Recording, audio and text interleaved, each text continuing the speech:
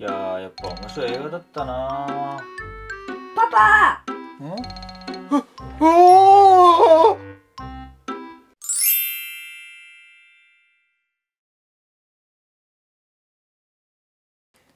はいこんにちは。まやチャンネルまやはるでです。はい。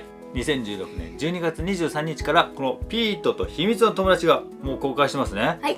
前回紹介しましたこの前売り券を使って早速見に行きましょうか。はいはいということで劇場やってきました、はい。これ使って見ていきましょうね。うん。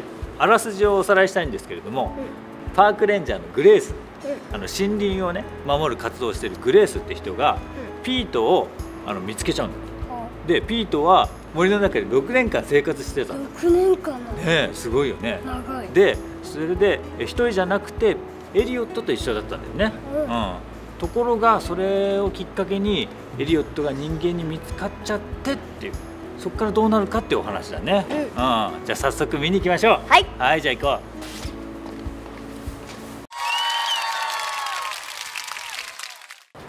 う。はい見てきました、はい。面白かったね、あちゃんとパンフレットも買ったのでじゃあお家に帰ってちょっとお話ししましょうか。はい。はい。はい、ということで、ピートと秘密の友達見てきましたね。面白かったね。うん。エイジン君どのあたりが面白かっエリオットがワンちゃんみたいに遊んでたから面白かったたああ、そうだね。ちょっとね、あの、この前の動画の写真の方にもあったけど、エリオットとピートがね、川辺でバシャバシャね、遊んでた。確かにね、エイジン君前言ってた通り、うんワンちゃんっぽかった。そうだよねね。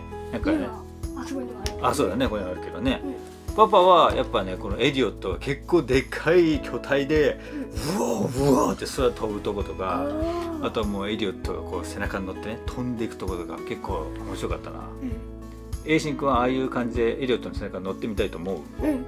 思う？うん。怖くないの？怖いけど乗ってみたい。あ本当に？パパは高所恐怖症だから絶対ダメだね。そうだね。パパもうダメだ。観覧車とか乗れないからパパでもやっぱりねあのピートとエリオットやっぱすごい仲良しでお友達っていうかもう家族みたいだったよね。うん。うん、もしパパがね、ん。エリオットとお友達になってうん。でも目の前でガーって吠えられたらちょっと銃構えちゃうかもしれないパパだったら、A ちゃんだったらやめてって言って止められるかもしれない。止められる？うん。パパわかんねえな。パパはやっぱりこうやっちゃ僕う構えちゃうかもしれないな。ちょっと怖いかもしれないパパ。そうだね。はい。でも怖いけど頑張る。頑張るんだそんなわけでですね実はパパがですねエイシン君にプレゼントを買ってきました。あはいちょっと開けてみてください。バラがついてる。はい。よいしょ。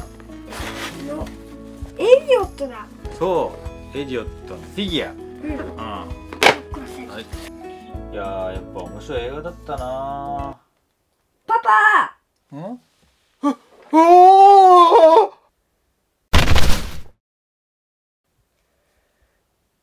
このフィギュアだったよあこんな感じなんだね、うんこのタイプのフィギュア初めてだけど結構ずっしりと重いんだね。そうだねうん。ちゃんとエリオットの特徴であるさ牙が一本ないよね。そうだねうん。ただちょっと気になるのがこの髪の毛とかピンクじゃなかったよね。そうだねうん。羽もピンクだったっけ？違ったかもしれない。うんうんまあ、でもエリオットっぽいね、うんうんということでエイジン君ピートと秘密の友達の3つの約束を覚えてますか？覚えてます。覚えてる？うん。映画を見てて思ったのは絶対に守り抜くこと、うそうだね。ん、ピートとエリオットはずっと友達でしたね、うん。うん、仲のいい友達でまた家族でもあったね。うん。すごくね心温まるお話でしたね。はい。やっぱね前の約束通りパパエイジン君と仲良くしたいのでこれからもよろしくね。よろしくね。はい。劇中にも結構歯があったよね。うんああということでですね、えーピートと秘密の友達ぜひ家族で見に行っていただけるとあのよりねあの家族愛深まると思いますので、はいぜひ行ってみてください。はいということで今回は以上でございます。バイババイバイ